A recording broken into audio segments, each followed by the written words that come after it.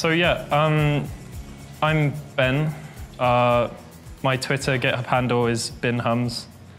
Um, I've got the slides for tonight on my website, so if you want to click on links, follow along, whatever, um, there's a lot of links today, and if you want to follow up, they're right there. Um, so go there. Uh, thank you. Can you all hear me okay? So yeah, I work for a company called Zesty. We're based in Potrero Hill, San Francisco. Um, we're like a corporate wellness company doing catering.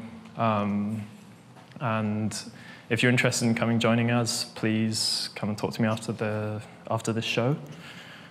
Um, yeah, so as I say, I'm talking about web accessibility, and what I want to cover today is how websites can be inaccessible, where you can go and learn about accessibility, um, where you can do to like find out if your website is accessible and some like specific stuff to Ember. Um, where can we make Ember.js more accessible? I'm not going to start talking about like why you should be building accessible websites. I feel like that's pretty obvious, and yeah, I don't know. I don't want to guilt trip anybody into anything. Um, so first of all, how can websites be inaccessible?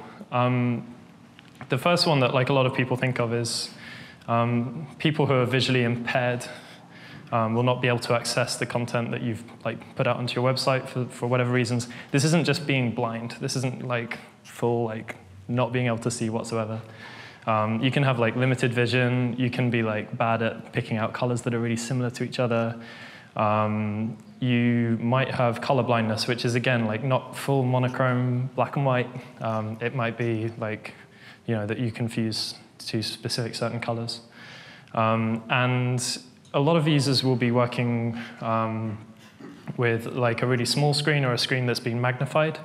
Um, one particular thing that we'll see a lot is that um, when users are navigating our websites, they're like quite often only looking at a small chunk of the website and not the entire thing. So um, we kind of need to be careful that we're making sure that the context is like not something that's absolutely required if you're like zoomed in on a particular part of the website. Um, users might not be able to move. This is uh, specifically like making assumptions about using our website with a keyboard or with a mouse. Um, there's like other things as well, things like touch actions, for example. Um, if we're working with mobile, that's a thing.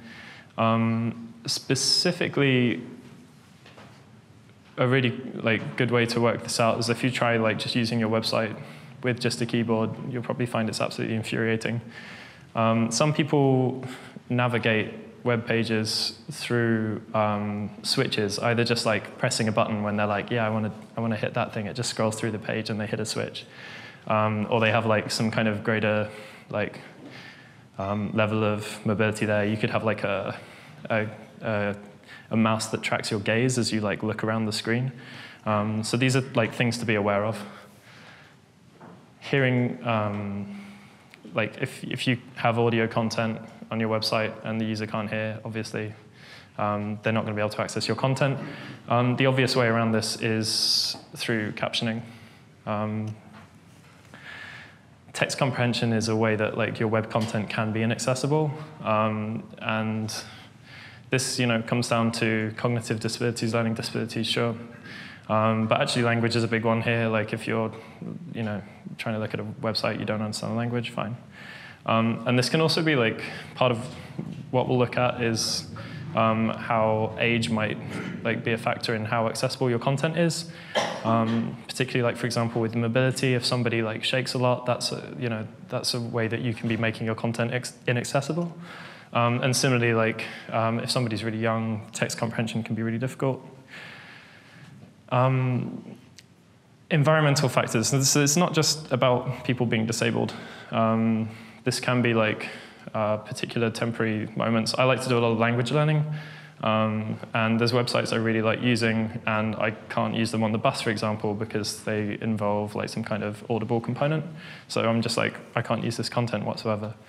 Um, so particular examples are if you're in like low lighting, a loud area, you're not going to be able to hear things. Um, if you don't want to disturb the people around you. And you know, things like if you're driving to work, um, I don't know how many people use websites when they're driving to work, but it, it came up as an example. Um, similarly, device limitations are going to like potentially cause accessibility problems. Um, mobile devices, I feel, um, I don't know, I hate mobile devices personally, and I feel really old when I say that. Um, but like smart TVs, for example, are a thing. They have web browsers now, apparently. Video game consoles. right, there we go. Um, so like people are using all sorts of things to look at the internet, um, cars included, apparently. Um, so sometimes you might be in a situation where um, click events are not a thing, right? It's actually touch events. Um, and similarly, uh, we now have specs coming through for like specifically pointers, um, which is relevant to VR stuff. So I don't know if people browse the internet using like an Oculus Rift or something, but um, that's also a point. You can't just have like click navigation. Um, on-screen keyboards are a total pain in the ass. They like take up so much space and they're really difficult to use. Um, and similarly, if you're relying on text-to-speech, this can be um, potential problem. I think like personally, I really like the idea of um, using like text-to-speech and speech recognition in mobile as like a way around um, the problems with like on-screen keyboards. But the other thing, um, if like you're working with a support uh, a platform that has like really bad support or really bad tooling, um, this can be a problem. Compatibility problems, uh, your HTML might suck. Um, if you've got invalid HTML, this is like, you know, gonna, gonna be a, a, an issue here. Similarly, like if somebody's using really old browser or if there's like some kind of character encoding problem, a lot of this stuff is things that I thought were a total thing of the past, but actually things like character encoding, okay, you know, you can just say like, all right, everybody use UTF-8, but actually, for example, um, and we'll get onto this, a lot of devices that people use um, when they can't use like traditional keyboards and mice. Um, so, like a lot of them don't support UTF-8 for for stuff like this. So um, one thing is that your user might actually be a robot.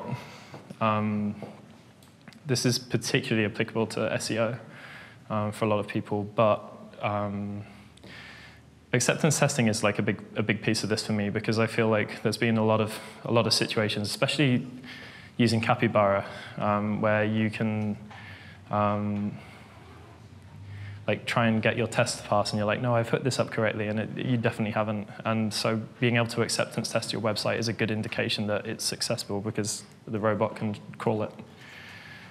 Um, so yeah, as I mentioned, people are using more like other technologies than just like your monitor, your keyboard, your mouse that you're familiar with. Um, so it's good to have these in mind when you're building a website. Um, screen readers are um, for people that can't see so well. Um, they'll go through the website from top to bottom, just like linearize the entire thing and just speak it to you. So this is like text-to-speech stuff. Um, some people use Braille keyboards um, and Braille displays, which are really cool. I like never heard of them before I started researching this talk. And like I say, switch devices um, are other like types of input. So I don't know if this will work, but um, okay, totally not working. Um, but this is an example of like the, oh, okay, so we can hear it.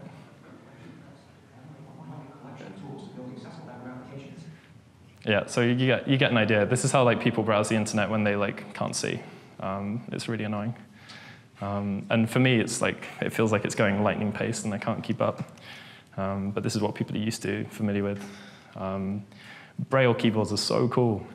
Um, so Braille is like representing regular like letters, numbers as dots, and people like in conjunction with having like a text-to-speech can like get these raised dots to like come up and down and read Braille of like, you know, their Android phone.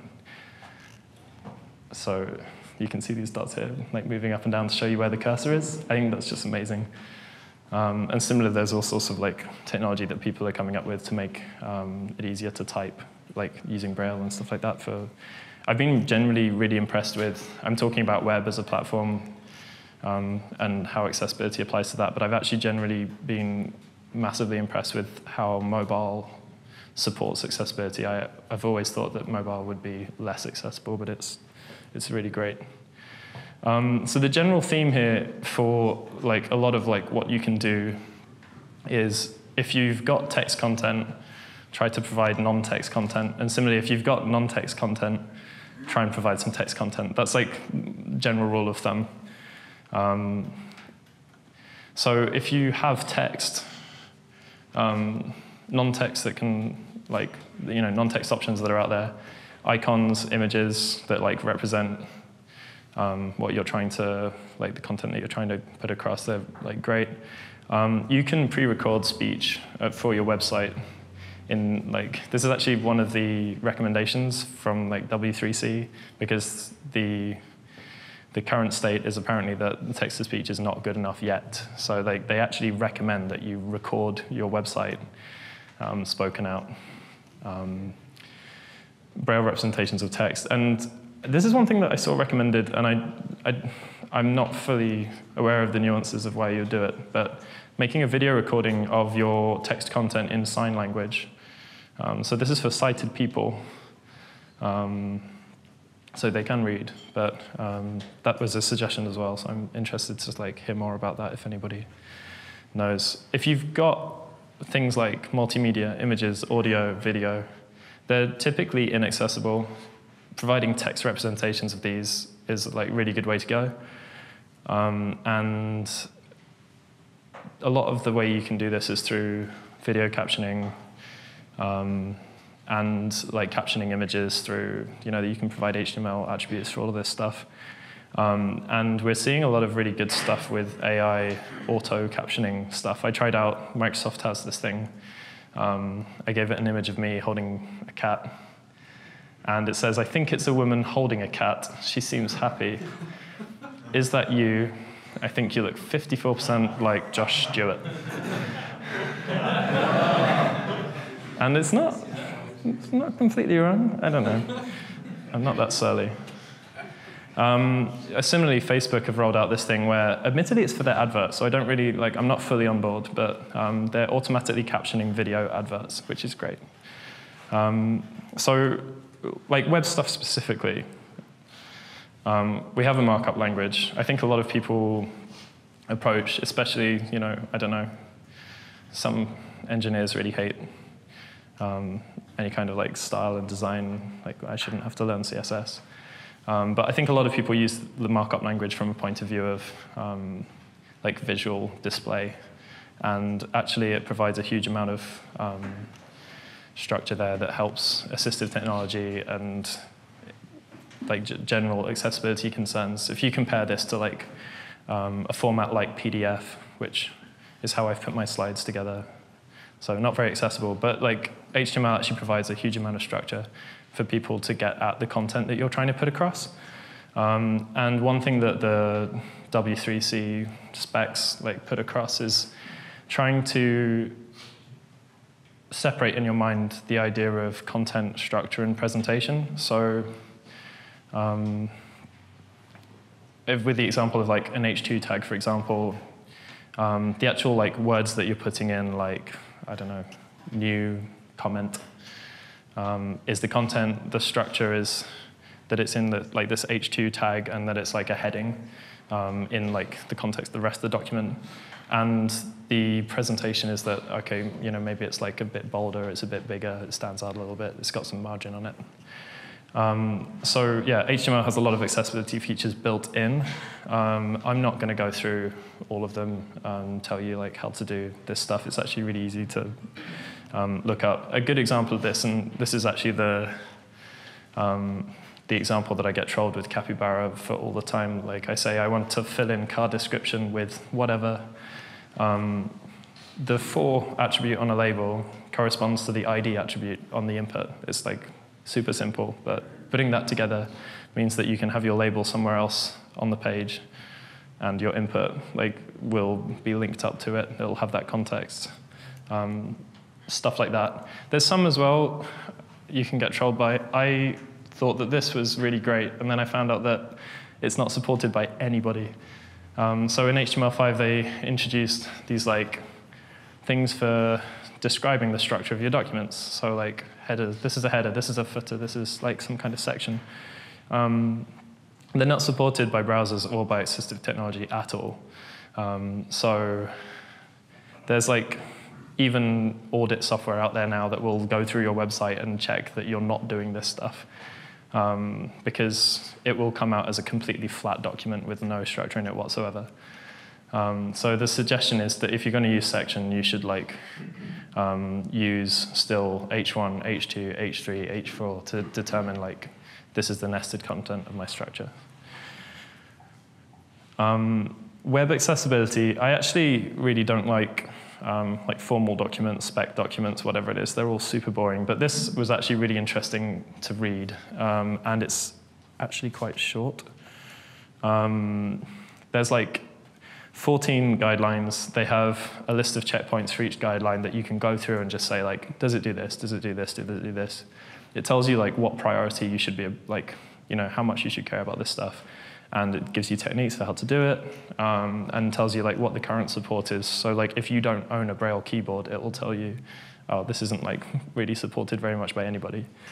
Um, so, and also there's like a little bit of arcane stuff like frames and image maps, which I'm pretty sure nobody like ever uses these days. So um, I'm just going to quickly blitz through these because there's only 14 of them, and you know we should all know these. Uh, the first is provide equivalent alternatives to auditory visual content. Um, this is stuff like alt attributes. There's a longdesc attribute you can use as well, providing captions and an auditory track. These are all like recommendations here. Don't rely on color alone. Um, you can like, um, yeah, this is to do with being like colorblind or visually impaired. If you like, if color is the thing that's like actually presenting your content, that's a big no-no. Um, use markup and style sheets and do so properly. So this is partly like, don't use a table to like decide the structure of your entire website, or even better, like you know, just make an image of the thing that you're wanting to like display and put it. I don't think anybody does that anymore, but like that's part of the recommendation. Um, natural language uses, you can actually like specify what language your content is in. So if you've got a text-to-speech thing, it can like switch into Spanish mode by just saying, hey, I'm, this bit's in Spanish. And like stuff like that's super important. Um, you can also, like, if you're providing an abbreviation that's not clear, you can, like, there's markup for providing an expansion of what that is. Um, creating tables that transform gracefully. They talk about transforming gracefully a lot, and I don't really know what it means. Um, but things like you can use the th field to indicate that this is a heading. Um, and yeah, t-head, t-body, t-foot, use them to group rows. Like, it's, it's, simple stuff, but it actually helps people out a lot. Um, ensure that pages featuring new technologies transform gracefully. This is another thing. Um, new technology is apparently JavaScript. Um, yeah. But I guess the question is, can your website work without style sheets? Can it work without JavaScript? Um, and are your event handlers device independent? So this is like what I was saying about clicks and stuff like that. That's not necessarily device independent. Um, ensure that control of time-sensitive content changes. This says stuff like don't use marquee or like blink. Um, so yeah. I'm breaking all the rules. Um, no flickering. You want to be able to like stop pages that auto-update. Um, if people are like really slowly moving through the page and your page is like changing at a million miles an hour or like auto-refreshing, that's really annoying. So providing people the opportunity to pause that is great. Um, ensure direct accessibility of embedded user interfaces. So um, I don't actually have any notes about this. I think this is like, if you've got like a video. Object tag. Object tag, yeah, sure. Great. Given, Object tag. Given when this is written. Um, design for device independence. Um, logical event handlers. So we, we said about that, like, don't use event handlers that are terrible. Tab index is like a thing that you can say to be like, I'm navigating the page by just hitting tab. Um, is your form like, or all your form elements appearing in a natural order? I mean, I think that's just like not being really annoying. Like even as somebody who's like very able at using websites, I can hit tab and still get infuriated by things. Um, keyboard shortcuts are like actually massively helpful to people besides just like you know navigating GitHub. Um, you can like a lot of people, especially people using switches, will define macros. So it's not just a thing of like oh I have to like hit tab eight times. Like they'll just like define a macro that takes them to this page and does this thing that they want to do. Um, so like actually providing keyboard shortcuts that are sensible in your website is just massively useful again. Um, using interim solutions, again, super vague sounding thing, but they have loads of instructions about it. This is things like um, doing the right thing with your labels, so providing labels for your forms, setting them out properly. Um, yeah, and this is actually like, so this is for like technology that hasn't caught up. So assistive tech, sometimes if you've got like a bunch of links um, that are in a line together, they'll actually like read them all out as one, just like one big thing. Um, so I don't know how much that's the case anymore because I, like I like to think that the stuff that like Chrome and Apple are doing here is just totally up to date. Nathan's shaking his head. Maybe not. Um, use W3C technologies. You're part of the club now. Um, so they say stuff like, don't use Shockwave, don't use PDF, it's really inaccessible. Um, use MathML and HTML and stuff like that. Um, I don't know. I'm preaching to the choir, I think. Uh, provide content and with context and orientation information. Um, so this is stuff like the title attribute. Um, I, I'm pretty sure every Ember app I've ever made just has the same title attribute for every single page. Um, I don't know. Uh, has anybody put any effort into changing their titles? I don't like. Um, that also applies to like if you've got a group of options, you can use like an opt group element to like group them all together. Um, and similarly, like form content can be grouped together using field set and legend. Um, clear navigation mechanisms is like an obvious thing. Provide good link text. Um, it says stuff like navigation bars are, are, good for people. Obviously, I think I think a lot of this stuff is pretty obvious. Um, think about providing a sitemap um, and a lot of screen readers, for example, when you're navigating a website through a screen reader, I don't know if you've ever, like, if you see somebody who's a total pro at it, they'll like, they're very quick at just recognizing from the start of a link or the start of a heading, like, nah, this content's not for me. Um, so if it's like, this is a picture of blah, blah, blah, like, that's not massively helpful. So try and put like the, the actual content that you're putting across like right at the beginning, like front load it. Um, finally, ensure that documents are clear and simple. Um, this is just the thing of just like make sure your language is simple and clear. Um, don't be too complicated. What I'm not touching on here is this like slightly bigger thing, um, which is really cool. Again, um, this is specifically for like rich internet applications. There's a group of people all putting together guidelines, and whenever you see like ARIA stuff, and you're kind of like, what's all that? Um, it's a, a, lot of what my understanding is that it's for like saying this like really random little component that I've made, it does this kind of thing. Um, so that's an interesting one to read up on for sure. Um, W3C is on GitHub. Who knew? Um, there's loads of stuff there. Like, um, there's also a Slack channel. Ryan Florence, I think, is in it. Maybe we'll see. Um, there's a talk that Jamie White gave at the London Ember meetup. I recommend, I've not been able to find a recording of it, but there are um, slides with lots of links. I've basically copied all of the links and content in his talk and put it in my talk. Um, so these are all fantastic talks that you can check out. Um, they're slightly English-centric. Um, a lot of these people are English, um, which I can only say is a good thing. BBC provide um, a lot of guidance on how to um, make your websites accessible.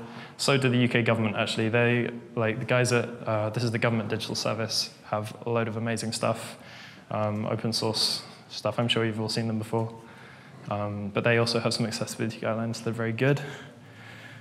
Um, on the topic of working out if your website is accessible, I think a lot of people know that you can just manually verify stuff. Um, and there's like varying degrees of effort that you can put in. Um, one of these is just like try navigating with a keyboard, like put your mouse aside. You know, if you feel like a pro hacker, you can do everything with a keyboard, right? Um, screen readers actually is really easy to turn on in OS X and in your like iPhone, probably Android, I don't know. Um, just try it out. Like see see what that feels like, see what that navigation flow is. Even if you just do it once, you'll like very clearly, very quickly see this is really painful. Um, try disabling style sheets. Does it like is the order of the content sensible? Um, text-only browsers, I I wouldn't recommend using links, but um, see what you could do to like actually just pull out the, the text content itself and see if that's sensible. I was very inaccessible a few years ago, well, like a long time ago when I was trying to like set up some kind of extremely custom Linux distribution, and like I just couldn't use the internet, so links was my only option. And yeah, um, also just make your resolution really small. See what that looks like. Um, some people were using like really beefed up font sizes and stuff. So um, this is, I guess, kind of like testing for mobile, but um, if you've got a responsive website, maybe that'll help. There's a bunch of accessibility tools on GitHub, this link, um, check it out. It's like the most interesting stuff I think is like audit tools, um, but there's like jQuery stuff, um, there's links to um, all sorts of different, I don't know, check it out. There's um, one of the resources that's there is like, most of these are provided by W3C, are like things that will um, tell you what like all of the like English names are and all the different like keyboard codes are. So when you like start mashing your keyboard and you're trying to add in keyboard shortcuts, this will like tell you what that is. So um, these are useful.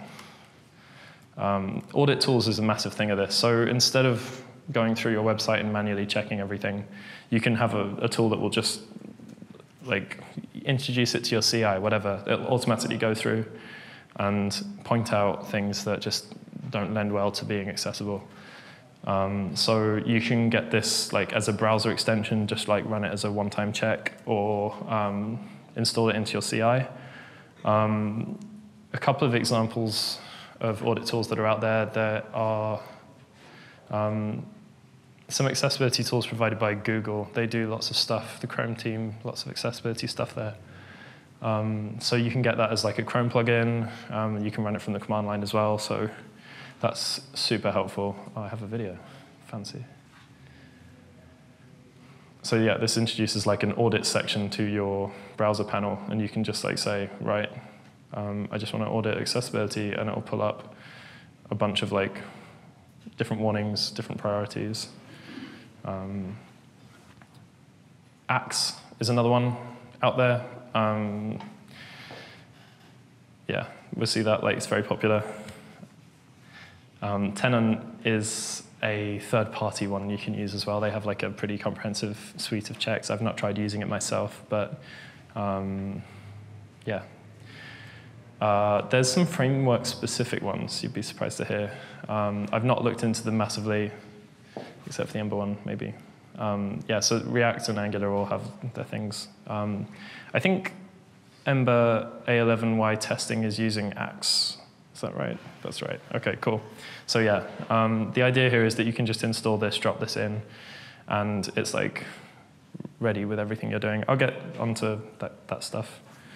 Um, I guess I'll get onto it now. How can we make Ember.js accessible? So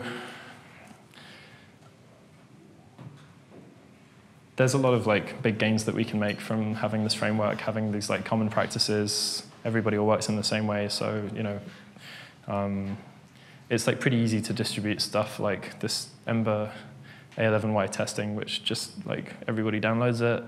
I hope you will download it tonight and just start putting it into your CI tools.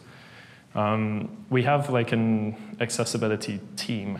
So this is a team of people getting together, um, complimenting each other about once a fortnight. Um, we all get very confused about different ways of speaking English. Um, we've put together, oh, this is the team.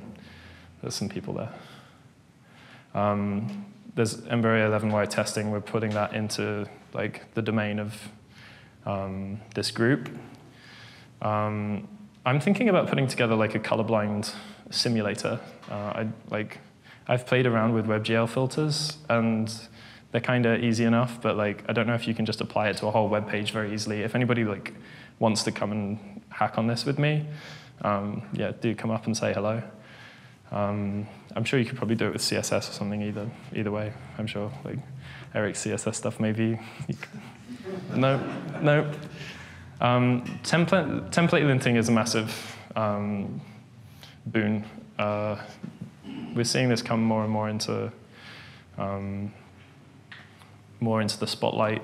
Um, we held uh, a hack day at Zesty and did a bit of work on that, and we've just seen it like move forward from there.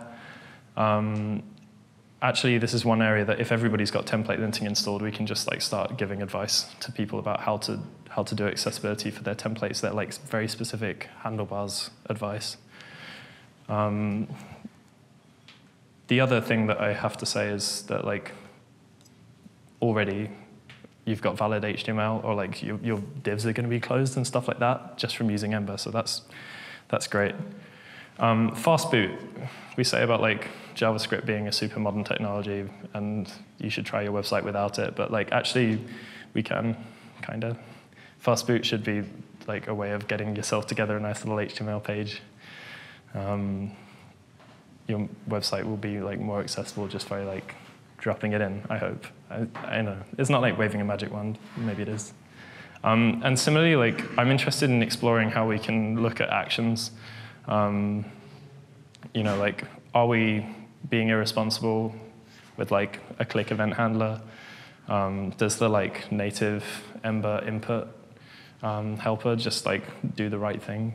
Uh, this is like something where we can look at making Ember a bit better for this stuff. Um, page titles as well. I looked into this having never set up a page title. It's actually really, really easy. There's, um, there's this add-on, and you just install it. You say, hey, look, give me a title. And they even like nest them with your nested routes. So it's beautiful, like really easy to do. Um, if any of you are interested in getting involved, we have um, a Slack channel um, where like all the people from Ember A11Y, we're, we're chilling out there, we're lurking. Um, this is on the Ember.js community Slack channel. You can get to that through the Ember.js website.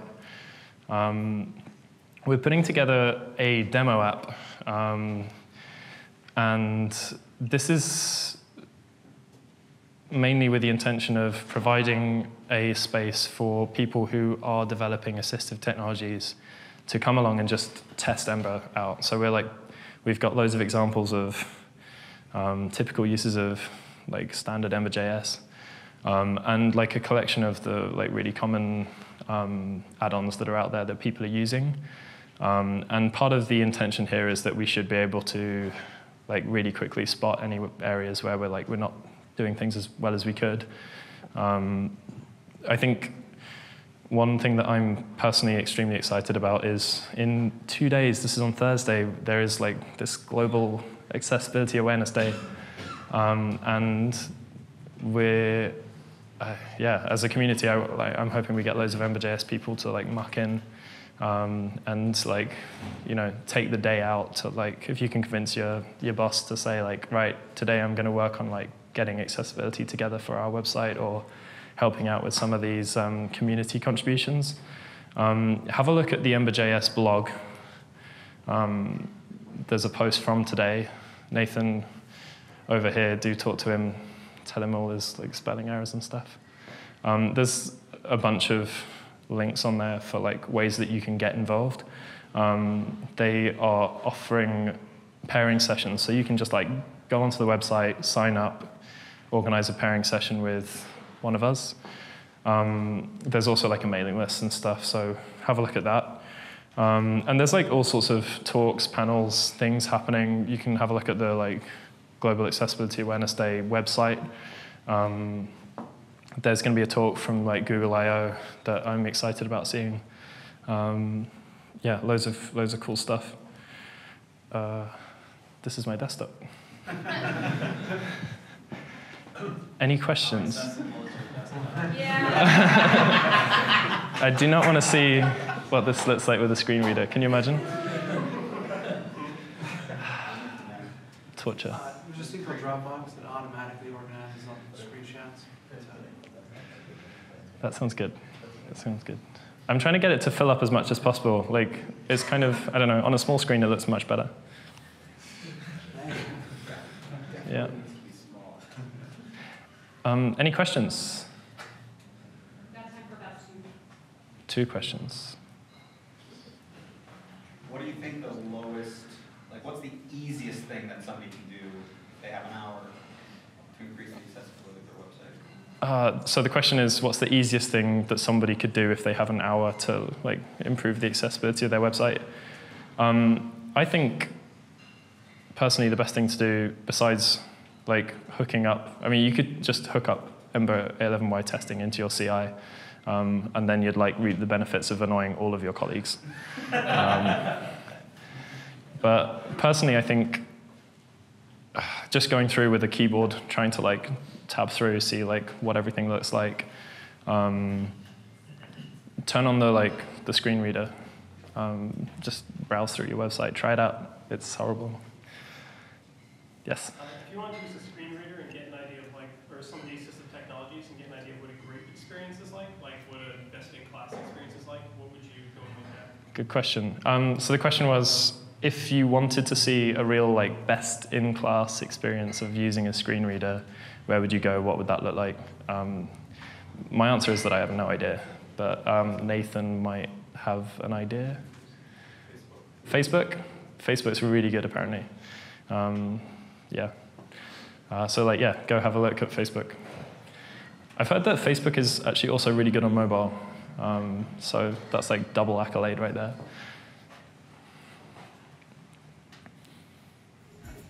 Okay, great.